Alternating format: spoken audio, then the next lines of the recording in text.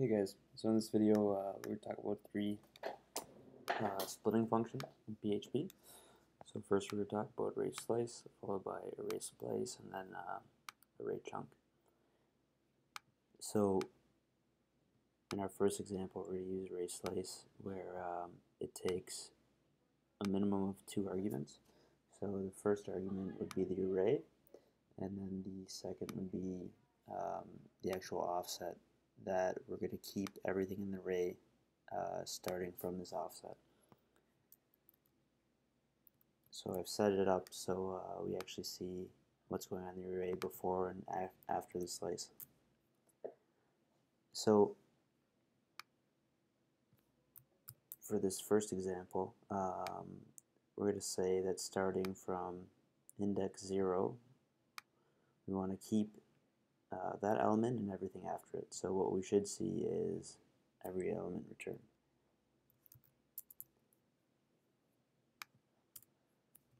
Yep. But if we only want to keep um, everything starting from 2, which is index of 1, we express it like that. And again, we only want 4, 5, and 6.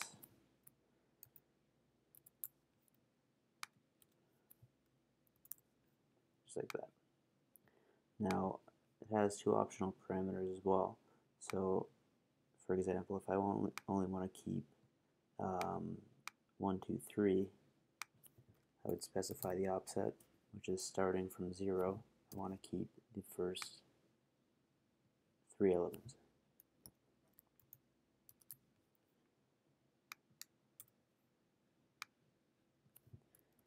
And if I started from index 3, I want to keep these three elements.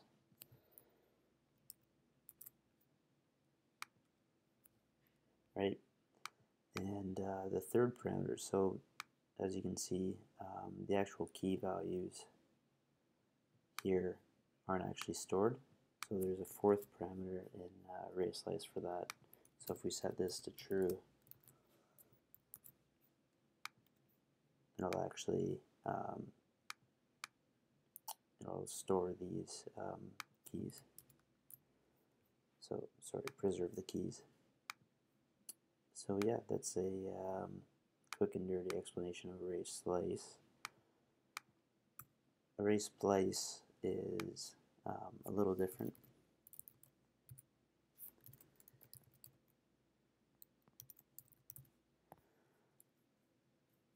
So for array splice, it also has um, the exact same amount of arguments.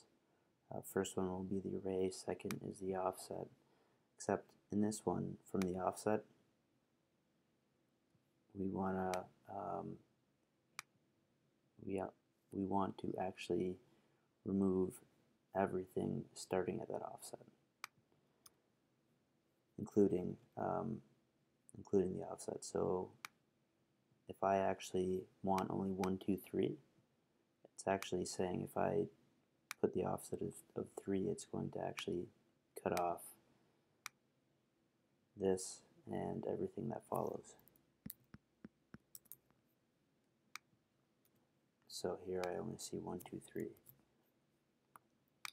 And again, there's a length parameter, so if I want to cut these two values out, I only want to cut 2 out, I can specify that with the optional length parameter. So it actually keeps the 6 this time. Now what's cool about array splice is you can actually um, add additional elements to this array. So let's say um, after the second element, I want to, actually don't worry about this first, so after the second element I want to add an array of, I don't know. And um, so proceeding this index, I want to add this array. Um, oh, and again, this is for uh, PHP 5.4 plus. Can also be expressed as that. Um, so yeah, we're saying that we want to actually add these two elements after uh, the index number two and uh, we don't want to cut out any elements after that. So everything is still in here and then we have two additional elements. So now if we want to cut out, let's say, number 4, which would be the first element preceding these, then we would do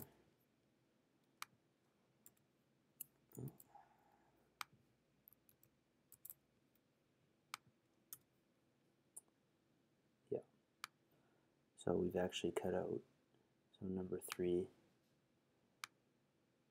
or sorry, um, yeah, this is no longer within this um, array.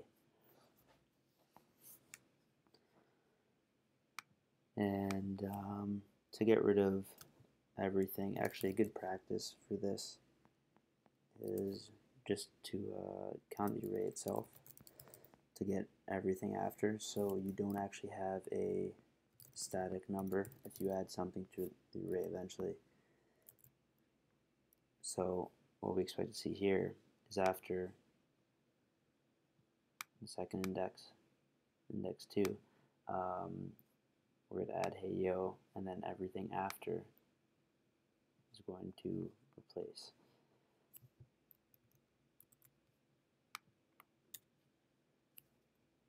Or not.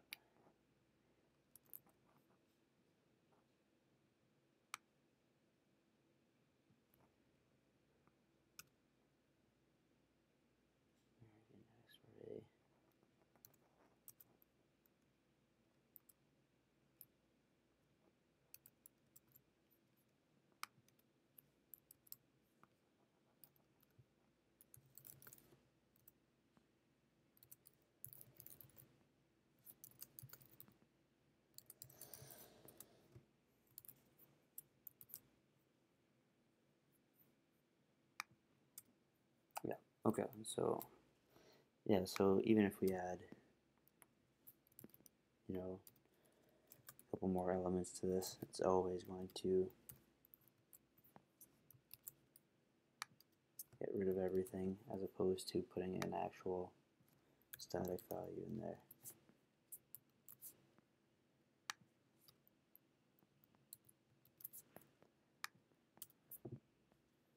Right?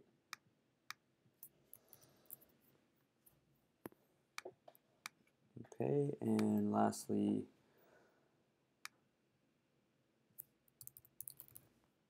uh, we got array chunk.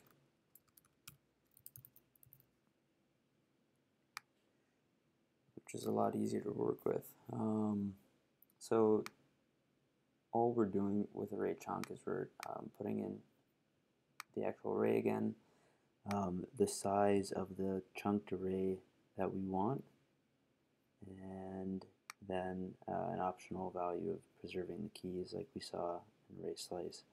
So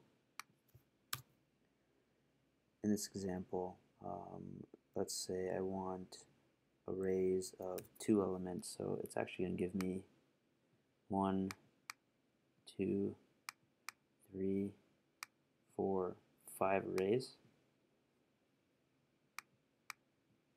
So in the first array I'll see 1, 2, second I'll see 3, 4, 5, 6, 7, 8, 9, so on.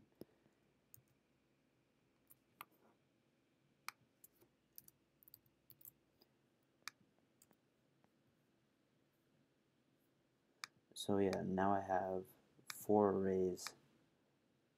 And if I wanted to have three elements in each array, I'll now get three arrays with three elements in each. And um, again, the optional parameter preserving keys will actually preserve the keys.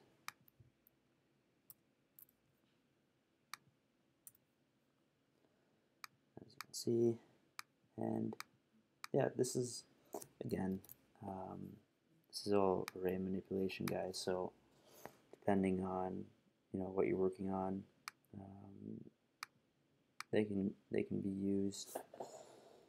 Uh, I've used them quite a few times. I don't have a good example off the top of my head, but again, it's all array manipulation, and um, yeah, just play around with it. Uh, it'll take a while, especially with array splice, to get used to these functions. But uh, yeah, I hope that helped. If you have any questions or uh, have any um, suggestions on this video, please let me know. Thanks, guys.